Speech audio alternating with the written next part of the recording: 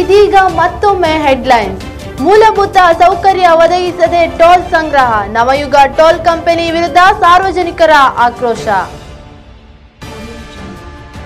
ಮನೆಯಂಗಳದ ಬಾವಿಗೆ ಬಿದ್ದು ಬಾಲಕರಿಬ್ಬರ ದುರ್ಮರಣ. ಕಾಸರಗೋಡಿನ ಪಿಲಾಂಕಟ್ಟೆಯಲ್ಲಿ ಶೋಕಸಾಗರ.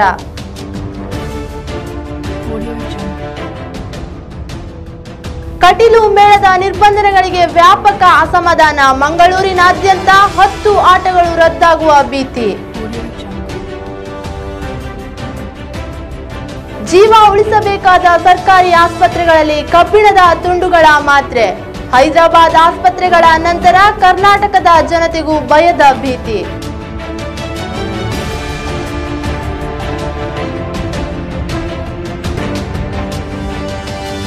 ಇದಿಷ್ಟು ಈ ಹೊತ್ತಿನ ಸುದ್ದಿ. ನಿರಂತರ ಸುದ್ದಿ ಹಾಗೂ ಮನೋರಂಜನೆಗಾಗಿ ವೀಕ್ಷಿಸಿ ಅಗ್ನಿವಾಹಿನಿ. ಇದುವೇ ಹೊಸತನದ ಬೆಳಕು.